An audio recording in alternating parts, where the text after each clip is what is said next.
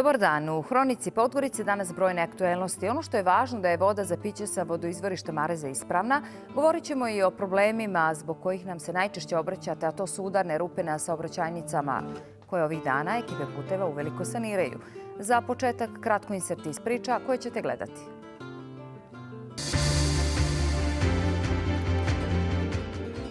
Ekipe gradskog preduzeća Putevi ovih dana saniraju udarne rupe koje su nastale uslijed obilnih padavina u proteklom periodu. U toku su radovi na dijelu ulice Vaka Đurovića od ulaza na parking Zavoda za hitnu medicinsku pomoć do ulaza u dvorište gimnazije Slobodan Škerović.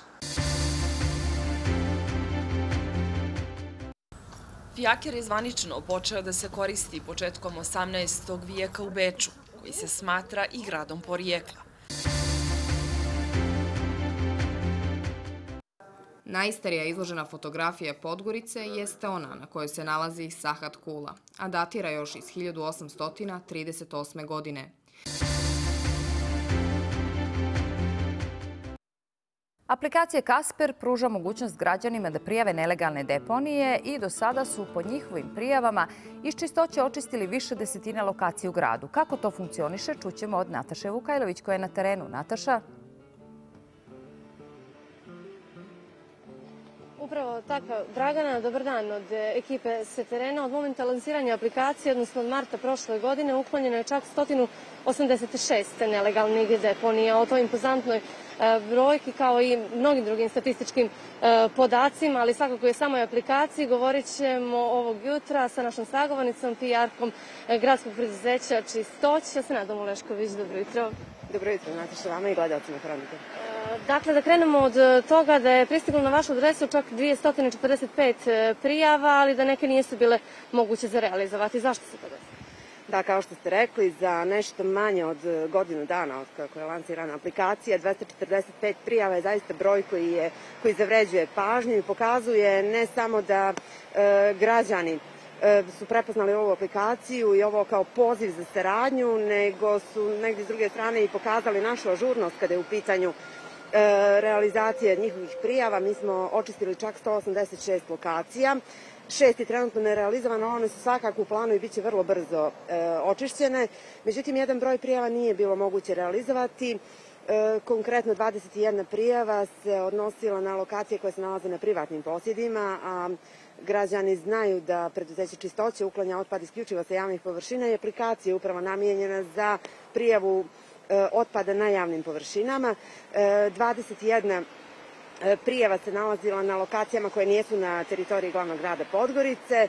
E, devet prijava se odnosilo na lokacije, odnosno na poslove koji nijesu u našoj nadležnosti i e, jedna lokacija se nije mogla naći na osnovu dostavljenih koordinata.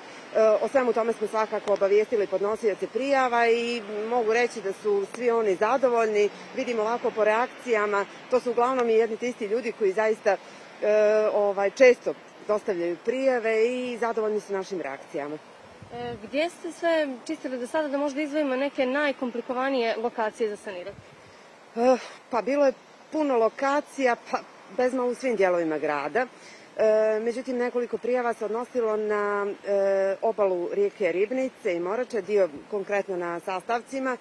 E, to su možda komplikovane lokacije iz razloga, evo u ovom periodu kada je nivo vode visok, pa je jako teško prići pojedinim mjestima i ukloniti otpad, ali smo se zaista potrudili da, ukoliko ne u samom trenutku prijave, e, čim se stvore uslovi, e, uklonimo i ove lokacije. E, Druge prijeve su uglavnom odnosile na otpad pored kontejnera, na nešto što svi ovako svakodnevno možemo primijetiti e, kao rezultat nesavjesnog odnosa pojedinaca. E, u principu sve lokacije koje smo e, očistili bile su, e, da kažem, ajde, nekako svakodnevni dio naših obaveza. E, gdje sve planirate još da čistite?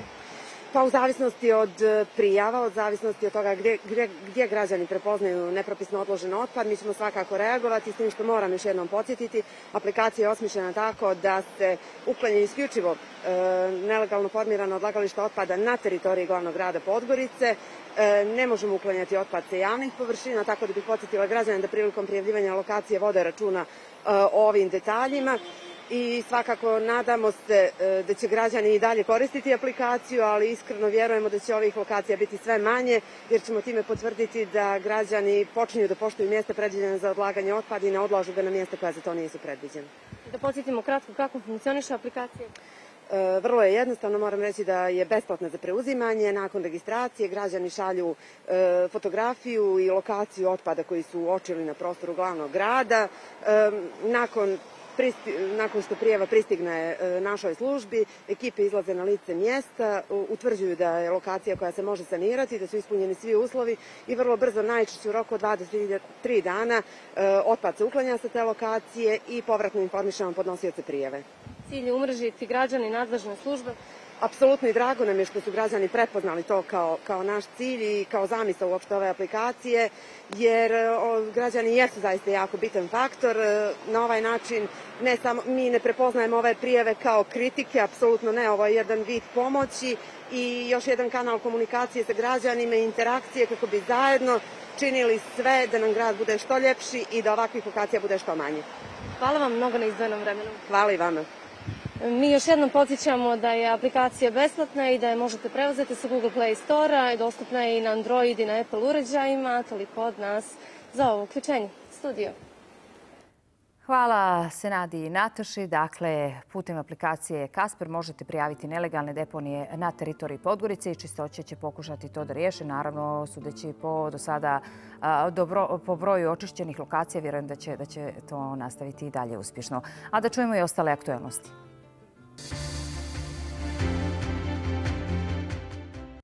Ekipe gradskog preduzeća Putevi ovih dana saniraju udarne rupe koje su nastale uslijed obilnih padavina u proteklom periodu.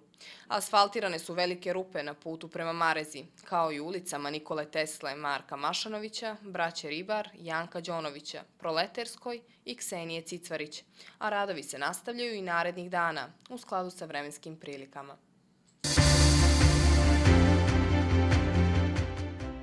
Preduzeće Zelenilo uspješno je realizovalo akciju pošumljavanja Park šume Zlatica, koja je postala bogatija za 500 sadnica crnog bora, smrče, košćele, dudovca i jasena.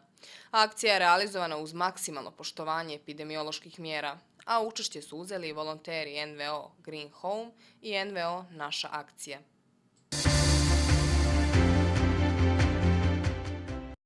Savjet za saradnju glavnog grada i nevladinih organizacija održao je konsultativni sastanak sa zainteresovanim predstavnicima NVO, na kojem su razmatrane prioritetne oblasti kojima će glavni grad u 2021. godini pružiti finansijsku podršku u iznosu od 60.000 eura za različite projekte. Rukovoditeljka službe za ostvarivanje izvršne funkcije gradonačelnika Ivona Međedović istakla je da je u planu priprema projekta koji će objediniti mnogi servise i obezbijediti dodatan prostor za još uspješniju saradnju sa NVO sektorom. Predstavnici NVO su dali prijedlog i obrazloženja za projekte i oblasti kojima posvećuju posebnu pažnju i istakli da je pomoć lokalne uprave u realizaciji zamišljenih projekata od velikog značaja. Odlukom gradonačelnika Ivana Vukovića formirana je radna grupa za poboljšanje uslova na planu postupanja sa napuštenim i ostavljenim kućnim ljubimcima i uslova za vlasničke kućne ljubimce. Zadatak radne grupe bit će saradnje i bolje postupanje sa napuštenim i ostavljenim kućnim ljubimcima, spriječavanje trovanja od strane nesavjesnih pojedinaca, organizovanje edukativnih radionica, te koordinacija i pomoć pri realizaciji planiranih projekata za tekuću godinu, koji se odnose na izgradnju parka i groblja za kućne ljubimce. U toku su radovi na dijelu ulice Vaka Đurovića od ulaza na parking Zavoda za hitnu medicinsku pomoć do ulaza u dvorište gimnazije Slobodan Škerović, a koja je prethodno zatvorena za saobraćaj. Projektom je predviđena prenamjena postojeće saobraćajnice u pješačku površinu sa štampanim betonom, s tim što će biti omogućen prolaz za interventna vozila. Od opreme tamo će se nalaziti betonske klupe, inox stubići, podzemni kontejner i rasvjeta. Nova površina biće široka 12,35 metara i dužina 130 metara. Također, rekonstrukcijom je predviđeno ozelenjavanje prostora i formiranje novog drvoreda pored ograde gimnazije. Radovi su počeli prije 10 dana, a rok za završetak je 3 mjeseca. Saopšteno je iz gradskog preduzeća Putevi. Ukupna vrijednost radova je 282.000 eura. Eto, čuli ste i vidjeli šta se to trenutno radi u glavnom gradu. Ono zbog čega se gledoci najčešće obraćaju u našoj redakciji su brojne rupe na saobraćajnicama. O tom problemu i ostalim aktivnostima gradskog eh, preduzeća Putevi govorit će nam direktor Radenko Bulatović. Dobrodošli u Kroniku Podgorice. Dobar dan, hvala na pozivu. Dakle, ovih dana uveliko se radi na sanaciji rupa na, e, da kažemo, glavnim saobraćajnicama i frekventnim. Međutim, nas e, e, gledalci svakog dana zovu, pišu na mailove i najčešće su primide upravo za to. Pitaju nas za put koji vodi ka Marezi, zatim onaj koji vodi prema naselju dalje, mada to dalje ide ka Danilovskoj opštine. Evo, jutro nas pitaju za Ceklinsku ulicu. Gdje su najveći problemi, šta sanirate ovih dana, naravno koliko vam dozvole vremenski uslovi? Pa upravo ste. Ovo je doba godine kad je kišna sezona. Na saobraćajnicama koje nemaju izgrađenu atmosfersku kanalizaciju otvaraju se takozvane udarne rupe. Naše ekipe su svakodnevno na terenu i vrše sanaciju takozvanih udarnih rupa. Mi molimo građane za malo strpljenja. U narednih mjesec dana će biti komplet sanirano područje grada što se tiče sanacije udarnih rupa. Ja bih se kratko svrnuo na prehodnu godinu, 2020. godinu da kažem da, smo, da je glavni grad preko resornog sekretarijata uložio 4 milione i 400 hiljada eura u sanaciju i održavanje postojećih gradskih saobraćajnica. Od toga je 325 hiljada eura otišao u gradsku opštinu Golubovci, 750 hiljada eura na ruralnom području, a preko 3 miliona eura je uloženo u sanaciju najfrekventnijih gradskih saobraćajnica. Ja Naši gledalci mogu da vide kako to izgleda. Dobro, ovo je već nešto drugo. Sad snijeg i o tome ćemo pričati. Tako je. Znači, ja bih ovim putem samo naveo par gradskih saobraćajnica koje smo sanirali prošle godine, kao što je Bulevar Sveta Petra Setiskog, ulica Kralja Nikole, ulica 27. marta, Vojvode Ilije Plamenica, ulica Skopska, tako da smo mi prošle godine intenzivno radili i radili sanaciju većih gradskih saobraćajnica. Mi to ne bi mogli da odradimo da nismo uložili zajedno sa glavnim gradom preko 700.000 eura u nabavku nove građevinske mehanizacije koja nas koristi za pripremu i asfaltiranje gradskih saobraćajnica. Samim tim I ove godine planiramo da velika sredstva uložimo u održavanje i nabavku nove građevinske mehanizacije, što znači da ćemo ove godine kupiti novu asfaltnu bazu koja košta preko 2 miliona eura, drbolično postojenje koje je 250.000 eura i manje građevinske mašine. Ovo vam sve kaže da će naši građani u narednom periodu biti zadovoljniji sa sanacijom i održavanjem gradskih saobraćajnica. Kada su obezbjede bolji uslovi za rad, onda će svakako i efikasnije i brže raditi. Naravno, i kad nas to je vremenski uslovi nam omoguće da radimo sanaciju takvih saobraćajnica. Kako smo krenuli dakle, od ovih aktuelnih stvari, vi ste pomenuli nešto to od prethodne godine koliko je uloženo.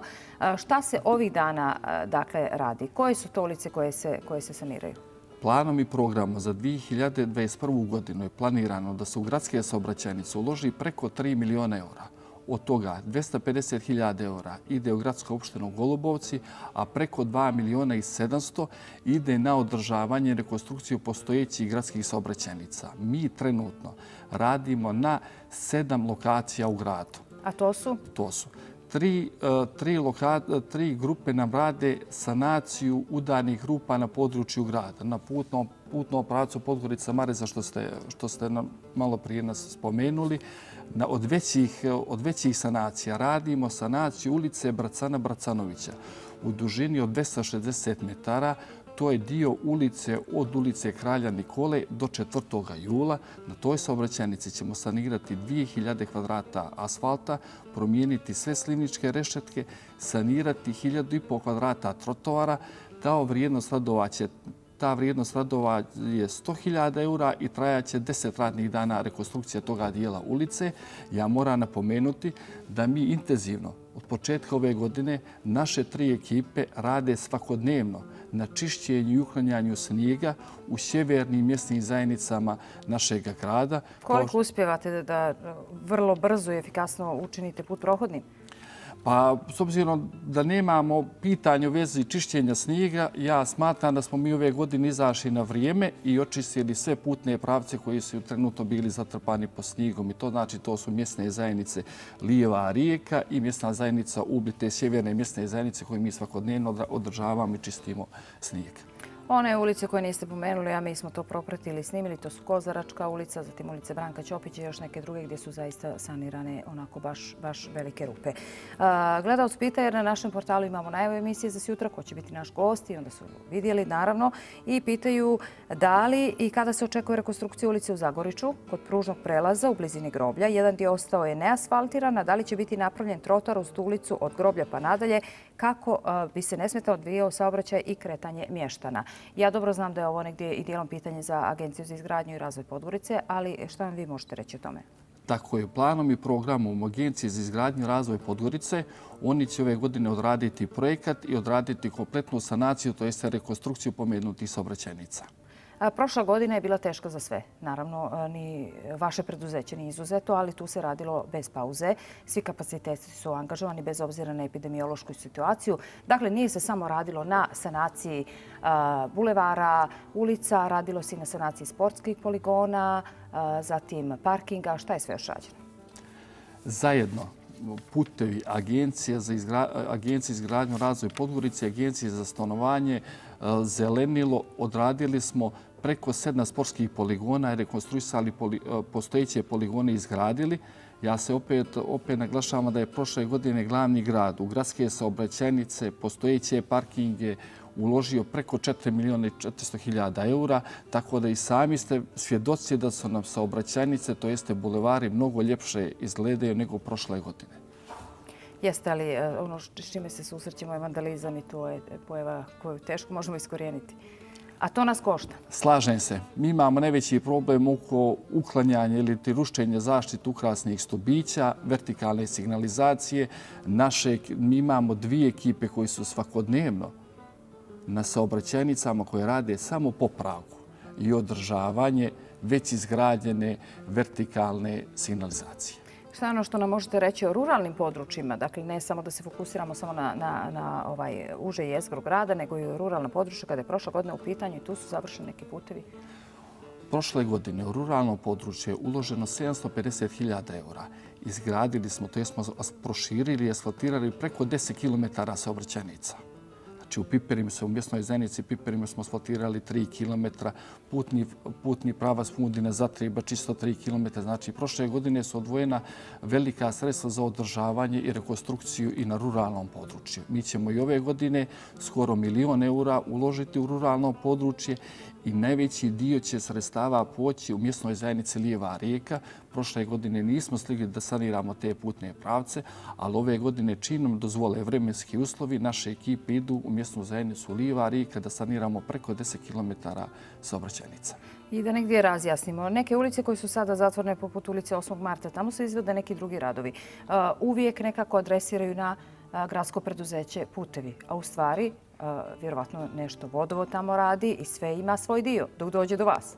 Pa slažem se, ali zato što mi održavamo te saobraćenice, našoj su nadložnosti održavanje i onda svako zatvaranje saobraćenice to vodi, vodi pravac put puteva. To su druge, druga gradska preduzeća koja rade i rekonstruišu svoje, svoje instalacije. Kad se dođe sa obraćenice koja mora da se rekonstruiše instalacije kao što je pitanje ulica 8. marta, onda izvođači koji su dobili na tender posao za našu firmu Gradsku vodovod, saobraćenica se zatvori i onda su oni nadležni na toj dijelu ulice. Njihova je obaveza da postave nove instalacije i da vrate kolovozu prvobitno stanje.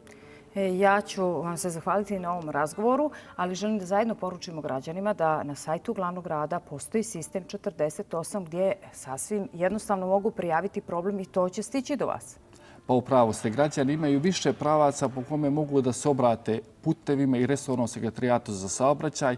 Ta jedan put je sistem 48 za veće asfaltiranja najbolje bi bilo da se građani obraćaju mjesnoj zajednici, a mjesna zajednica će taj zahtjev uputi put resornog sekretarijata, to jeste putevima, da ne bi bilo zloupotrebe sistema 48. Na sistem 48 možete da prijavite sitne intervencije u vidu udane rupe, polomjen vertikalni znak. Obično na sistemu 48 građani traže neka veće asfaltiranje koja nije realno da se završi u roku 48 sati. Znači sva manje sanacije da se obraćaju preko sistema 48, a za veće rekonstrukcije sanacije preko mjesne zajednice. Hvala vam puno na ovom razgovoru. Hvala vam na pozivu. A fijaker koji ovih dana možete vidjeti na Gorici jedini je u Crnoj Gori, kaže njegov vlasnika. Mi vam donosimo priču o tom nekada važnom prevoznom sredstvu. Fijaker je zvanično počeo da se koristi početkom 18. vijeka u Beču, koji se smatra i gradom porijekla. Izvorno, naziv je nastao znatno ranije u Francuskoj, gdje je trgovac konjima Nikolas Sovaž u neposrednoj blizini hotela davao kočije u najam bogatima.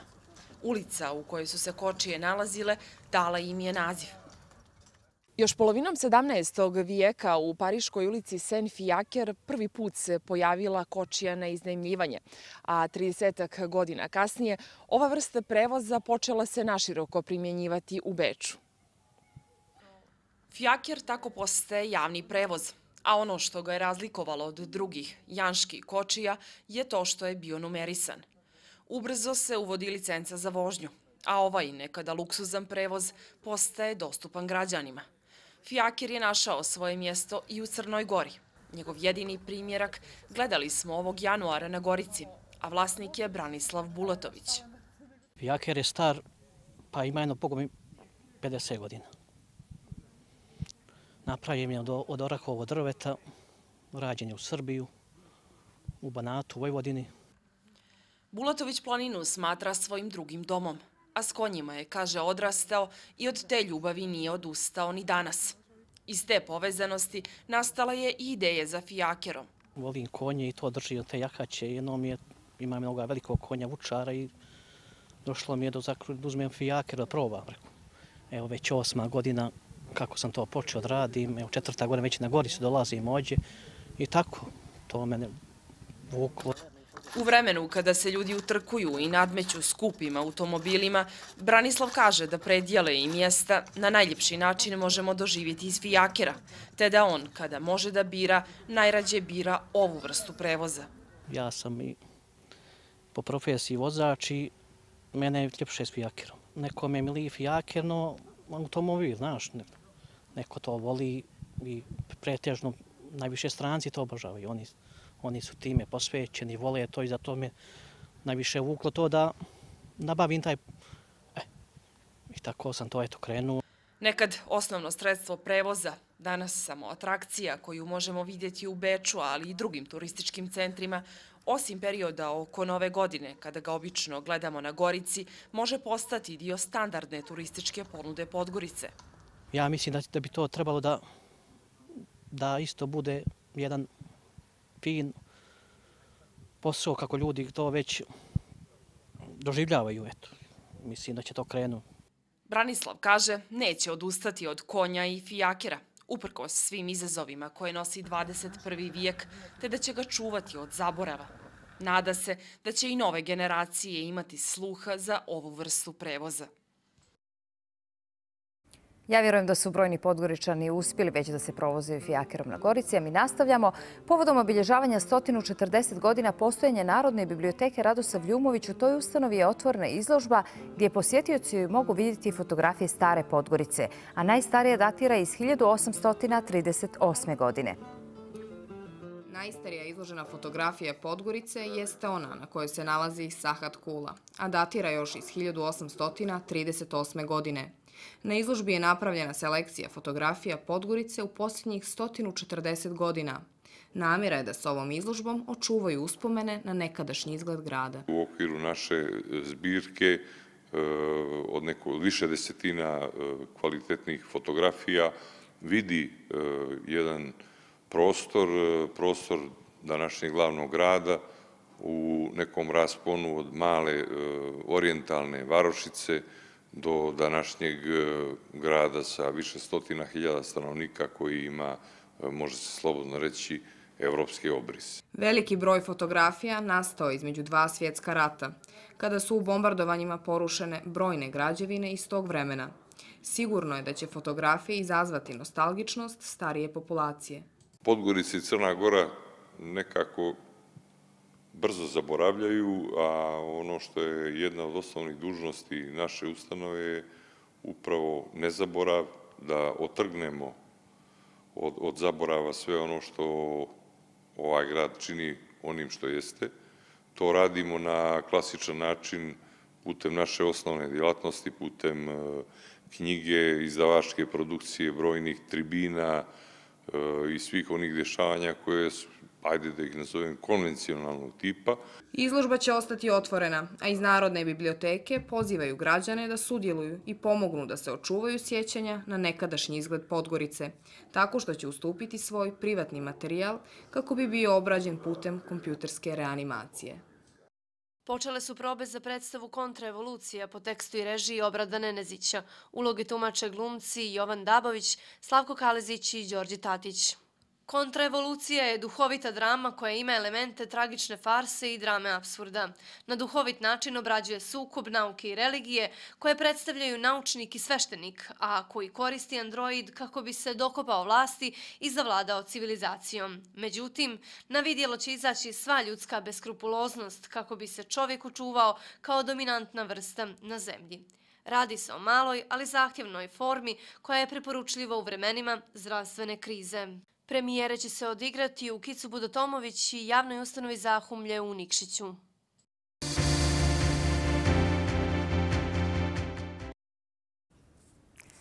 I za kraj e, vremenska prognoza koju radi naš sinoptičar Dragan Bujić za naredna tri dana i kaže danas pretežno oblačo, tokom većeg dijela uglavnom suvo, krajem dana i tokom noći kiša. U subotu ujutro padavine, e, prestaju tokom dana razvedravanje, ali u nedelju ponovo oblačno i kišovito. Vjetar slab da umjeren, pretežno istočni, jugoistočni, a u subotu ujutro duvaće kratko trajno pojačan sjeverni vjetar. Najviša dnevna temperatura danas do 8 stepeni, a u subotu do 15, a u nedelju u padu biće oko 10 stepeni. Prema trenutnom prognostičkom materijalu kiše i u ponedelje kod utorka stabilizacije vremena. Toliko za danas. Mi se vidimo utorak sa novim gradskim pričama. Našu emisiju možete pogledati nešto kasnije na našem portalu rtcg.me ili u reprizom terminu na prvom programu od 16 sati danas. Želim vam ugodan vikend.